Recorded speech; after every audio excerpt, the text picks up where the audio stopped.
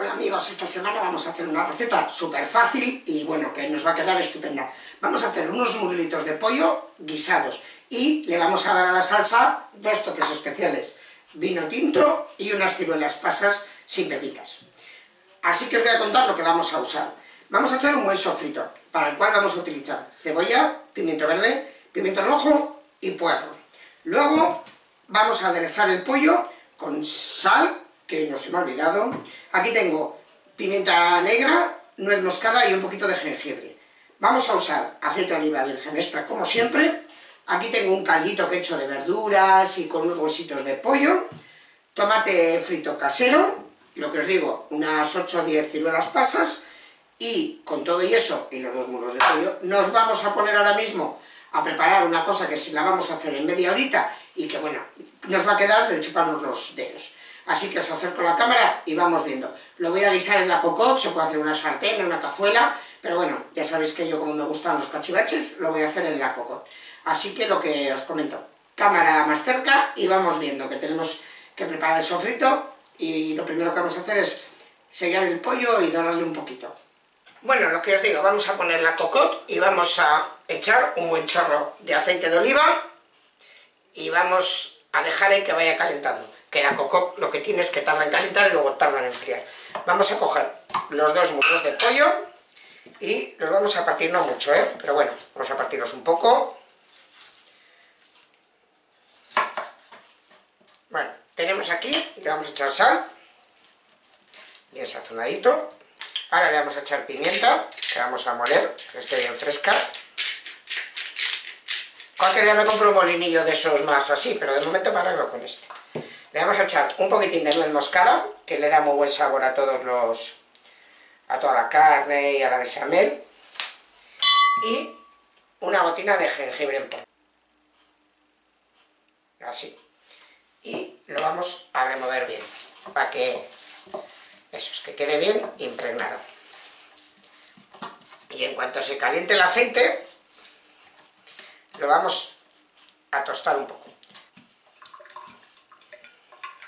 Mientras que esperamos a que se caliente el aceite, vamos a ir preparando las verduras para el sofrito. Vamos a picar la cebolla.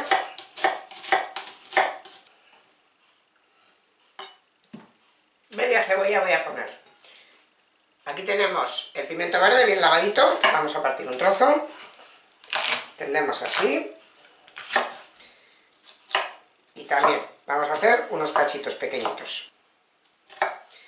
Es poquito, poca cantidad, no voy a poner mucha, mucha salsa. Porque nos queda buenísima y luego nos vale con un arroz o con cualquier cosa. Pero bueno, vamos a hacer lo que os digo. Media cebolla, medio pimientito verde. También un trozo pimiento rojo. Lo mismo, bien lavadito. Ya vemos ahí el aceite calentito. Vamos a echar el pollo que se vaya sofriendo.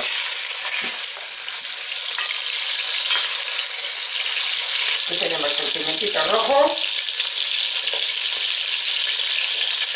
Y ahora aquí tenemos el pollo.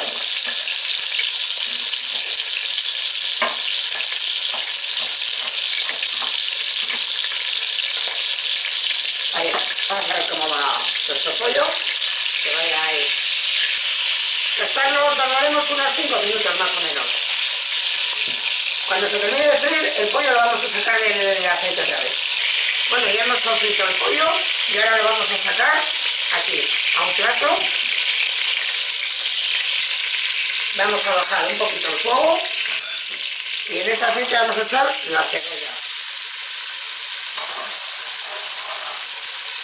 El pimiento y el puerro, todo junto. Y lo vamos a remover. Bajamos un poco el fuego porque queremos que se poche, no que se nos corre. ¿eh? Y esto le vamos a echar un poco sal para que sude. Y lo vamos a dejar ahí, a fueguito lento, unos 10 minutos. Una vez pasados esos 10 minutos, volvemos a echar el pollo, subimos un poco el fuego y echamos un buen chorro de vino tinto.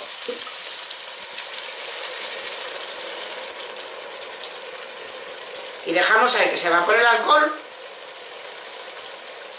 unos 3 minutos más o menos. Pasados esos 3 minutos que ya el alcohol se ha evaporado, vamos a echar 3 cucharadas de tomate frito casero que tenía por ahí hecho, removemos bien y después de añadir el tomate y de mezclar un poco bien, vamos a cubrirlo con el caldito que tenemos aquí, de verduritas y un poquito de,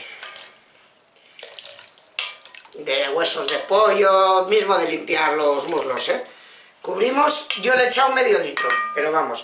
Y esto lo vamos a tapar y lo vamos a dejar que se cocine durante 20 minutos. A los 20 minutos lo vamos a abrir, vamos... Ahí, vamos a echar un poco solo primero, que luego se me olvida. A los 20 minutos lo vamos a abrir y le añadimos las pasas. Las ciruelas pasas que tenemos aquí y lo dejamos otros 5 minutos más o menos. Así que lo que os digo, ahora tapar y paciencia, que necesitamos por lo menos 20 minutos a fuego medio, tapamos y que se vaya haciendo. Bueno, lo hemos tenido ahí 20 minutos y ahora vamos a echar las ciruelas y lo vamos a dejar otros 5 minutos para que coja bien el saborcito. 5 o 6, ¿eh? sin problema y sin prisa. Tapamos y dejamos ahí. Bueno, han pasado los 5 o 6 minutillos. Aquí tengo una espatita chip que he puesto para decorar el plato. Y Ahora vamos a sacar el pollo porque vamos a pasar la salsa. Se puede dejar sin pasar, pero la vamos a pasar. Y vamos a sacar también las ciruelas, porque las ciruelas no las vamos a pasar. Las vamos a dejar enteras. Solo vamos a pasar una. Así que vamos a pescar todas las demás para añadirlas luego. Bueno, hemos pasado la salsa que tenemos aquí. Vamos a volver a meter el pollo dentro vamos a volver a añadir las ciruelas, le damos un hervorcillo y procedemos a emplatar. Vamos a coger un poquito de salsa y vamos a echar en el culo el plato.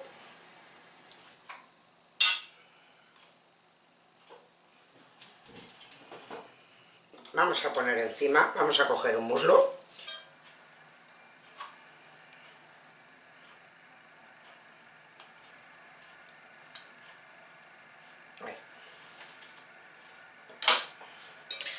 Vamos a, coger unas ciruelas